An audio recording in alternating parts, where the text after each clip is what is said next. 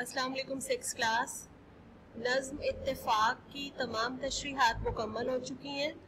आज हम तफहीम इबारत करेंगे। आप लोगों को जो कंपोज पेजेस दिए थे उसमें तफहीम इबारत सॉल्व हुई हुई है। आप उसको चेक कर लें। और आ, मैं आपको यहाँ पे समझाऊँगी। आपने उसी तरह से उसको कॉपी पे उतारना है।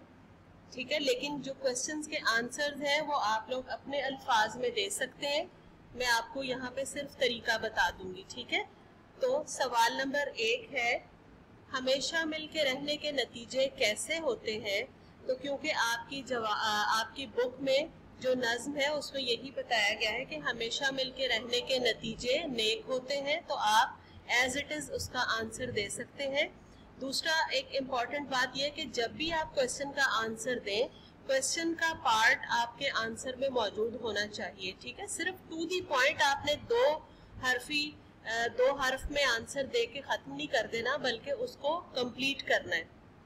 जिस तरह से ये क्वेश्चन है, हमेशा मिलके रहने के नतीजे कैसे होते हैं तो अक्सर बच्चे आंसर देंगे सिर्फ़ इतना के नेक होते हैं। तो ये गलत आपका रॉन्ग आंसर जो है, ये कंसिडर किया जाएगा।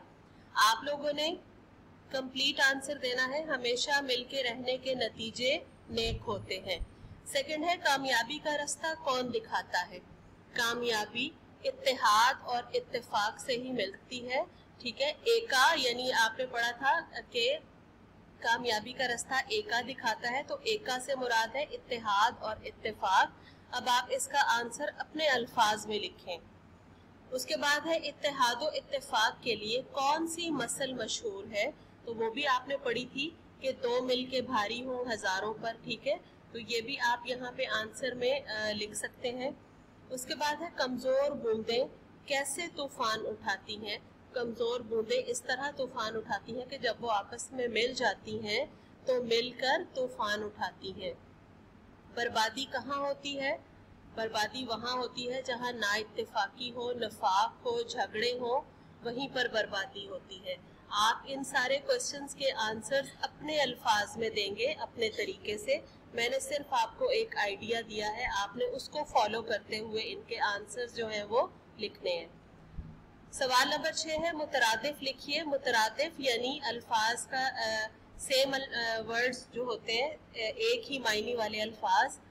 तो ज़िंदगी का मुतरादिफ है हयात कामयाबी कामरानी मुश्किल, दुश्वार, रास्ता, राह, ठीक है, ये इनके मुतरदिफ है। उसके बाद क्वेश्चन नंबर सेवन है, मुतजाद लिखिए। मुतजाद यानी उलट अल्फाज, एक लफ्ज है, उसका उलट जो होगा, वो उसका मुतजाद होगा, ठीक है। नेक्स्ट आप अगले लेक्चर में भी मुतजाद पढ़ेंगे। आप फ़र्स्ट टर्म में भी पढ़ चुके हैं। आपको आइडिया है कि मुतजाद अल्फाज कौन से होते हैं। तो यहाँ पे मैं बता देती हूँ, नेक का मुतजाद है, बद कामयाबी, नाकामी, मशहूर, गुमनाम, भारी, हल्का, ज़िंदगी, मौत। ठीक है? तो ये तफहीम इबारत आपकी कंप्लीट हो गई है। आपने इसको कॉपी पे सॉरी, पेजेस के ऊपर करना है, जो आपने स्कूल में सबमिट करवाने हैं, उन पेजेस पे इस तफहीम को कंप्लीट करना है। और इसके साथ आपकी जो आज की डायरी है नज्म इतफाक का मरकजी ख्याल आपका याद होने वाला रहता था, वो आज आपने याद करना है और साथ में इस तफहीम की, के क्वेश्चंस जो हैं, उनको भी आपने क्वेश्चन आंसर्स को याद करना है, ठीक है? डायरी दोबारा से बता देती हूँ लर्न मरकजी ख्याल ऑफ़ नज्म इतफाक और साथ में ये तफहीम इबारत जो अभी अभी हमने कंप्लीट की है, ठीक है? Thank you